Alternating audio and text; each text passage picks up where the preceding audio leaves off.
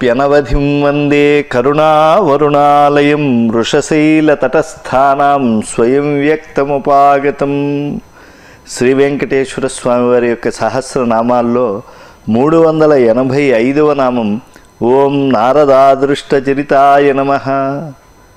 నారద మహర్షి అంటే అన్ని కాలాల్లో ఉండేటువంటి చిరంజీవి. అంతటా ఆయన సంచరిస్తూ విశ్వమంతా కూడా నారాయణ మంత్రంతో పవిత్రత చేకూర్చేటువంటి మహానుభావుడు. కానీ ఈ నామంలో నారదుడు కూడా దర్శించలేనంతటి విస్తార చరిత్ర కలిగినటువంటి వాడిగా ప్రతిపాదనం చేయబడుతూ ఉన్నది. ఓం నారదాదృష్ట చరితాయ నమ. అంటే నారదుని చేత కూడా ఆ యొక్క పరమాత్మ తత్వం ఇంత అని చెప్పి తెలియజేయటం జరగలేదు అని అంటున్నారు. ఆశ్చర్యం ఏమిటంటే ఈ నామాల్ని కూడా ఉచ్చరించినటువంటిది నారద మహర్షి. ఈ సత్యాన్ని కూడా లోకానికి తెలియజేసింది నారదుడే.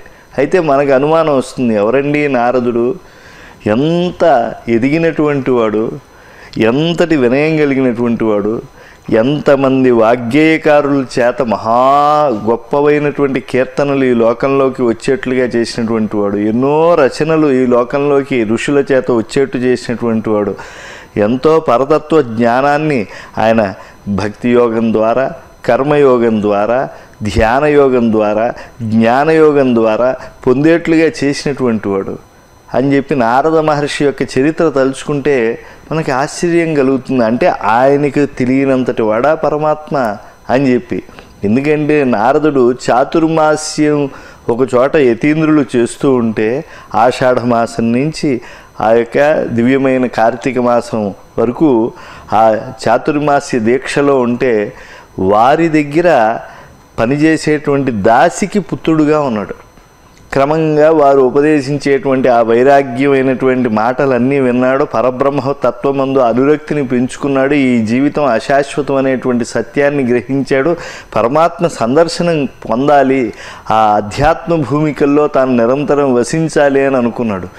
నిజంగా ఆయనలో అంతటి పరిణతి వచ్చింది. ఎందుకంటే చిన్న వయస్సులో తల్లి ఉదయం చాతుర్మాస్య దీక్ష చేసేటువంటి యతీంద్రుల కోసం ఆ క్షీరాన్ని ఆమె తీస్తూ ఉంటే ఆ సమయంలో ఒక సర్పం వచ్చి కాలసర్పమై కాటు వేస్తే తల్లి మరణిస్తే ఆ బాలకుడు ఇంక నాకు దిక్కెవరున్నారని చెప్పి రోధించలేదు.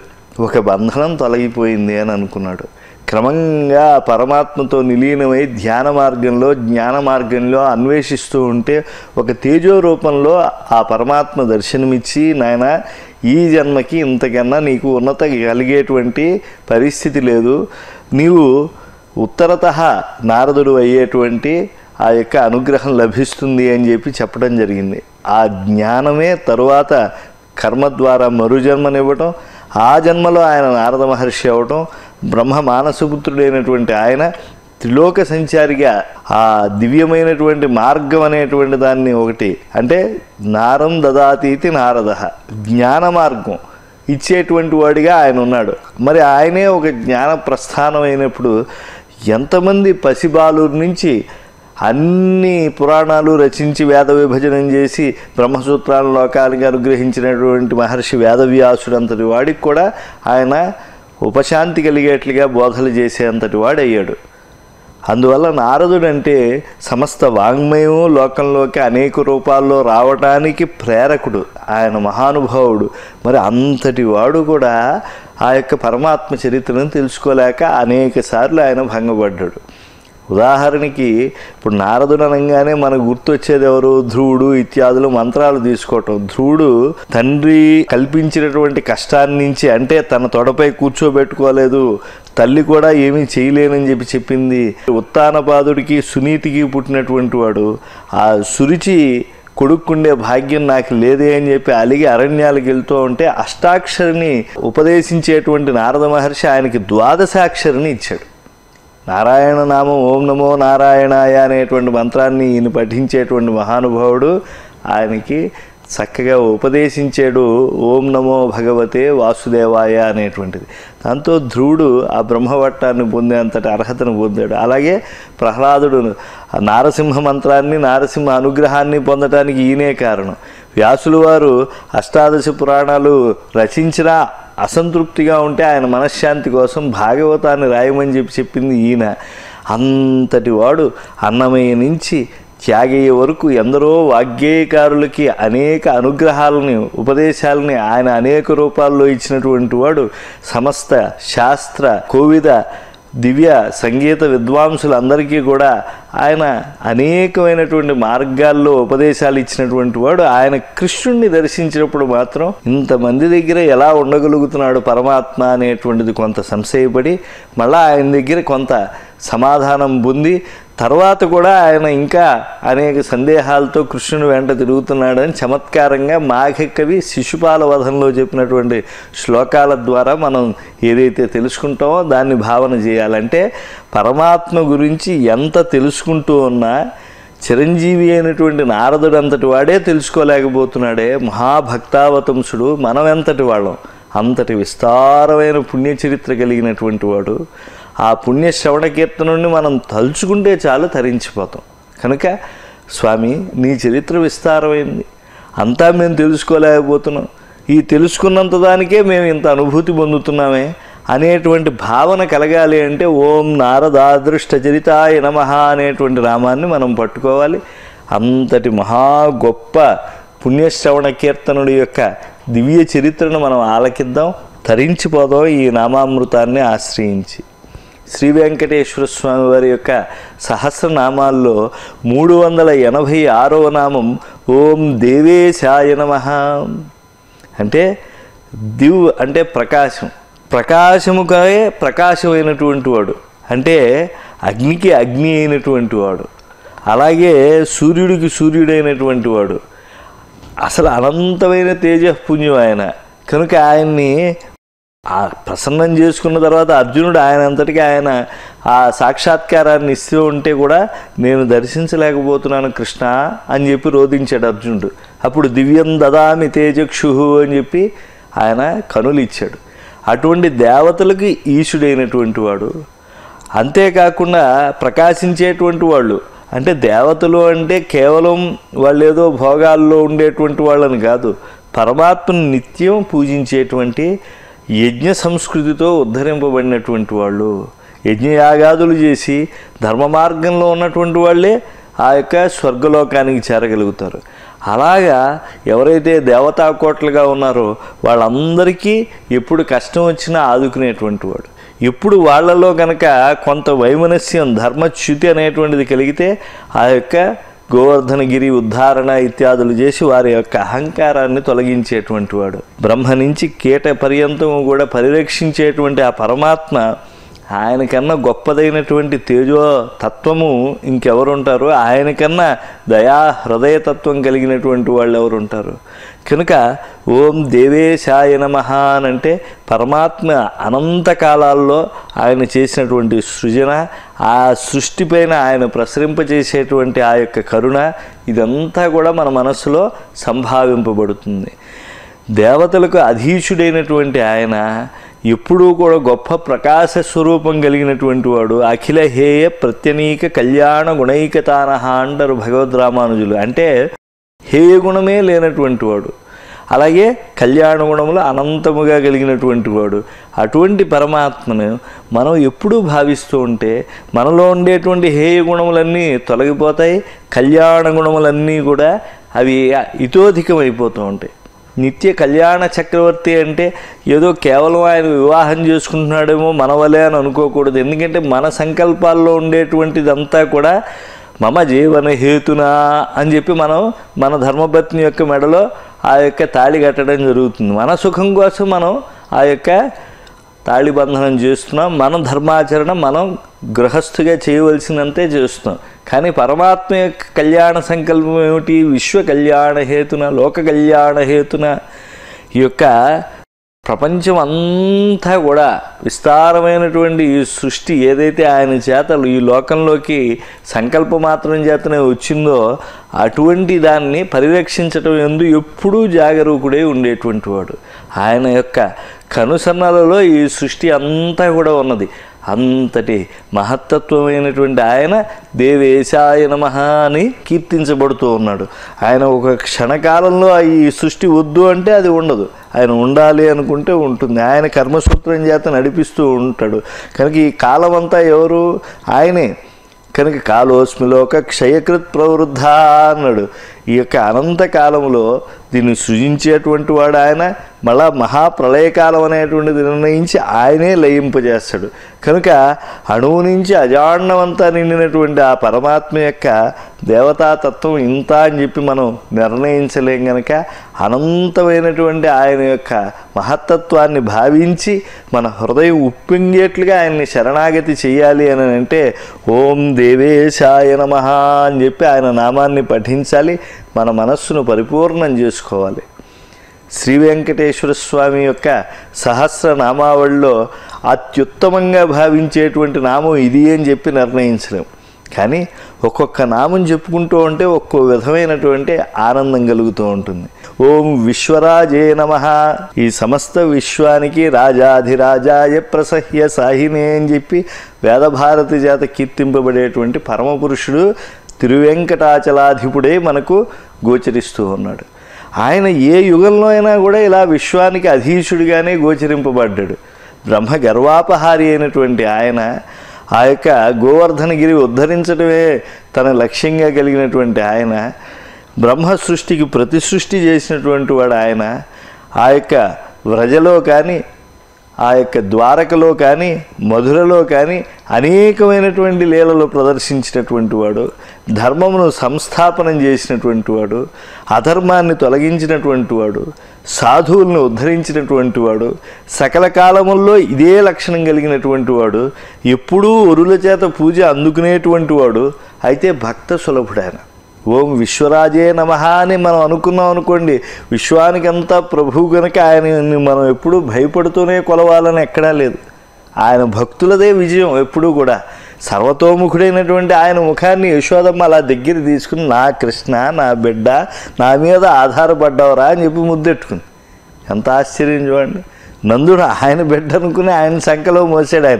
విశ్వాన్ని భరించేటువంటి ఆయన్ని వేనామాల వెన్నుడికి కృష్ణ అనేటువంటి ఓ తీయని మధురమైనటువంటి ఆకర్షించేటువంటి వాడా అని చెప్పి ఒక పేరు పెట్టాడు మన గర్గులు వారు. అటువంటి వాడిని హే యాదవ హే వాసుదేవ అని చెప్పి చాలా తాను కురువంశంలో పుట్టినటువంటి వాడిని ఈయన యదువంశంలో ఉండేటువంటి వాడు. కాబట్టి ఓ కృష్ణ వసుదేవ పుత్రుడా ఇలాంటి మాటలతో ఆయన ఎప్పుడూ సంబోధించాడు. కానీ ఆయన పరమపురుషుడు అని చెప్పి ఆ యదువంశం ధర్మవంశం అని చెప్పి తెలుసుకున్న తర్వాత అందులో ప్రభవించాడు. అవతీర్య యదోర్వంశే అని చెప్పి మన ఆ భాగవతంలో చదువుతూ ఉంటే ఆ యదువంశం అంత పవిత్రమైంది అని మనకు తెలుస్తూ ఉంటుంది. యదోశ్చ ధర్మశీలస్య అని చెప్పి వ్యాసుల వారే అంటారు భాగవతం దశమ స్కంధంలో. కనుక అటువంటి వంశంలో ఆయన పుట్టి ఆయన పరమాత్మ అయి ఆయన యుద్ధాన్ని నడిపించి దుర్యోధనాదులు నశింపజేస్తూ ఉంటే యుద్ధంలో ఈ అర్జునాదుల చేత అర్జునుడు కొంచెం బడలిక పొంది ధర్మము అయినటువంటి ఆ యుద్ధ కార్యం శాస్త్రోచితంగా ఆయన చేయకుండా గాంధీవం సంసతే హస్తాత్ అని చెప్పి అయ్యా ఈ శరీరం అంతా కూడా ఉనికిపోతోంది చెమటలు గార్చేస్తోంది ఈ గాంధీవం ఉనికిపోతోంది అని చెప్పి ఈ గురువును హత్వా హి మహానుభావాన్ని ఈ గురువులందరినీ నేను చంపాలా? ఈ భీష్ముడు ఈ ద్రోణుడు ఈ కృపుడు వీళ్ళంతా ఎంత గొప్పవాడు ఈ అశ్వత్థామ వీళ్ళంతా కూడా ఆ రక్తపు గూడు నేను ఎలా తిన్నయ్యా? అని చెప్పి అంటే అప్పుడు ఆయనకి యోగములన్నీ కూడా బోధించి తన యొక్క స్వరూపాన్ని విశ్వరూప సందర్శనం చేస్తే అర్జునుడు అప్పుడు ఏడ్చాడు స్వామి ఎంత భక్త సులభుడవయ్యా. నిన్ను నేను బావగా నేను తలిచి నీ చెల్లెలు నాకు ఇచ్చావని చెప్పి ఎంత అల్పంగా నేను నిన్ను మాట్లాడాను. కానీ నువ్వు నవ్వుతో ఎలా అందుకున్నావయ్యా నన్ను? అలాంటి నన్ను తప్పు చేస్తున్నావు అర్జున అని చెప్పి చెప్పలేదే నువ్వు? అంటే ఎంత ప్రేమ నిన్ను. నా మేనల్లుడు అనుకుంది కుంతి. మాకు మేనమరందే అని అనుకున్నారు అందరూ కూడా ఆ యొక్క పాండవులందరూ కూడా. అలాగే ద్రౌపదీదేవి నేను సుభద్ర కంటే కడునీయము. అసలు సుభద్ర నీకు తోబుట్టు అంతే. కానీ నేను నిన్ను ఆరాధించాను కనుక సుభద్ర కన్నా నీకు నేను ఎక్కువ ఇష్టమైన దాన్ని అని ద్రౌపదీదేవి చెప్పుకుంది కదా. ఋషులంతా తమవాడే కృష్ణుడు అని అనుకున్నారు కదా. అలాగే దేవతలంతా తమవాడే అని అనుకున్నారు కదా. ఈ కంసాదుల్ని సంహరించి లోకకంటకులైనటువంటి వాళ్ళ నుంచి ఋషులకు విముక్తి కలిగిస్తే ఋషులు ఆ యొక్క హవిస్సులన్నీ అర్పిస్తే మేము ప్రసన్నులు అవుతాం లోకానికి సువృష్టికారకులు అవుతామని దిక్పాలకులందరూ అనుకున్నారు కదా. అలాగా స్వామి కేవలం ప్రేమ చేత అందరి వాడయ్యాడు. గోపికలు సామాన్యమైనటువంటి వాళ్ళు వాళ్ళు ఏం ఋషులా? కానీ మహర్షుల వలె ఎంతటి ఆ పరమపురుషుని పైన కాంక్ష పెంచుకోవాలో అంత కాంక్ష పెంచుకున్నటువంటి వాళ్ళు. అలాగే వేల గోపికల మధ్యలో ఉండేటువంటి పరమాత్మ ఎప్పుడూ వాళ్ళకి ప్రియుడిగా ఉన్నాడు వాళ్ళకి హితుడుగానే ఉన్నాడు.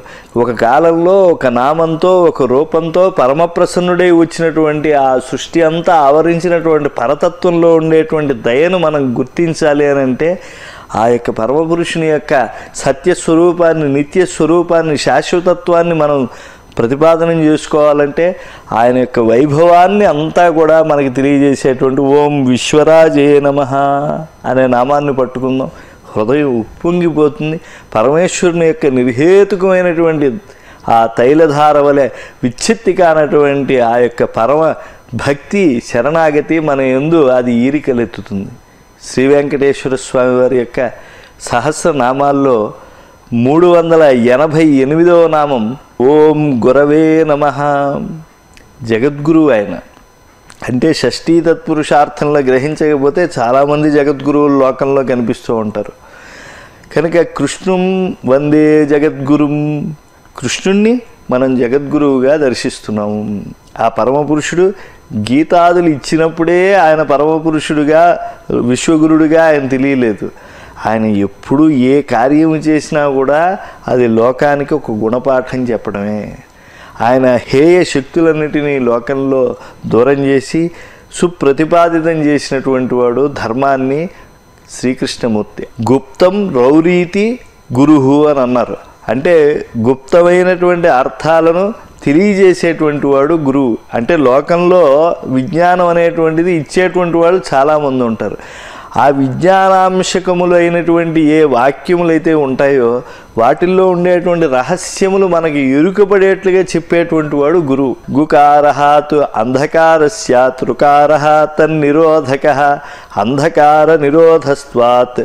అంటే గురుహు అనేటువంటి శబ్దం ఎలా వచ్చింది అంటే గుకారం అంటే అంధకారం. రుకారం అంటే తొలగించేటువంటిది. అందువల్ల అయ్యా మాలో ఉండేటువంటి అజ్ఞానాన్ని తొలగించేటువంటి వాడివి కనుక నువ్వు గురువు అయ్యావు వాస్తవానికి విద్య అంటే ఏమిటి? తత్వమును తెలియజేసేటువంటిది.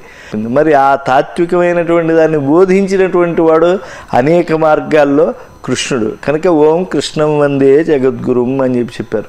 కనుక గురు శబ్దానికి ఆ పరమపురుషుడు గొప్ప అర్థమే ఉన్నాడు.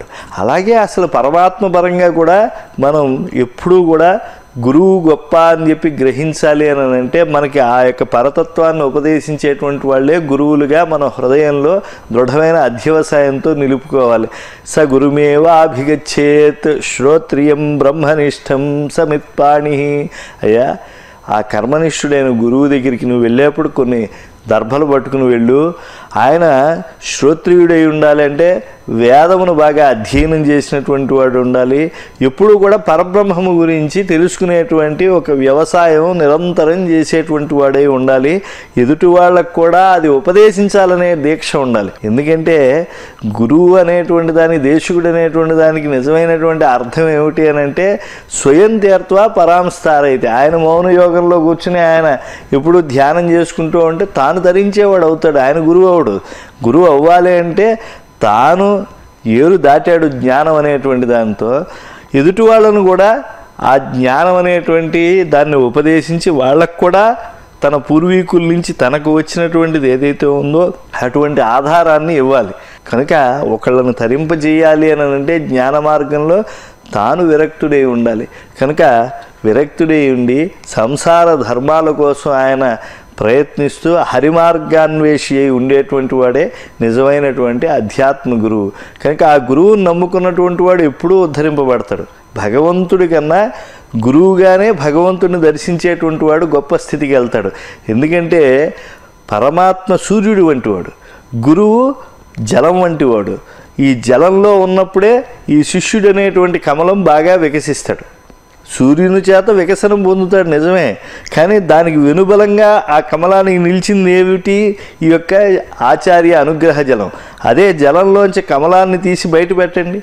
ఏ సూర్యకిరణముల చేత ఈ కమలం వికసించిందో అదే సూర్యశక్తి ఈ కమలాన్ని నశింపజేసేస్తుంది. కనుక ఆచార్యానుగ్రహ జలంలో ఉన్నంత మటుకే శిష్య కమలానికి వికాసము. ఆ గురువు అనేటువంటి సూర్యుడు ఏదైతే ఉన్నాడో జగద్గురు అనేటువంటి సూర్యుడు ఆ సూర్యుడు ఈ యొక్క లోకంలో ఉండేటువంటి గురువు ద్వారా అనుగ్రహింపబడేటువంటి శిష్యుణ్ణే ఎప్పుడూ కూడా పరిపూర్ణమైన వికాసానికి చెందేట్లుగా ఉంటాడు. కనుక జగద్గురువే మన గురువై ఉన్నాడని చెప్పి మన గురువు ద్వారా మనకు ఉపదేశిస్తూ ఉన్నాడు. కనుక ఆయన పరమ గురువు ఈయన కనిపించే గురువు ఉభయులు ఒక్కరే అనేటువంటి భావంతో ఉంటేనే మనం లక్ష్మీనాథ సమారంభాం నాథయామున మధ్యమాం అస్మదాచార్య పర్యంతం వందే గురు పరంపరాం అని చెప్పి సంప్రదాయ భావంతో మనం పరిపూర్ణంగా చెప్పగలుగుతాం. కనుక ఓం గురవే నమ అని చెప్పి మనకు అధ్యాత్మ జ్ఞానాన్ని అనుగ్రహించేటువంటి ఆ గురువు ఆయన ద్వారా పలికించేటువంటి జగద్గురు ఇరువురిని ఆ పరమాత్మల్ని మనం భావించి తరించిపోదాం.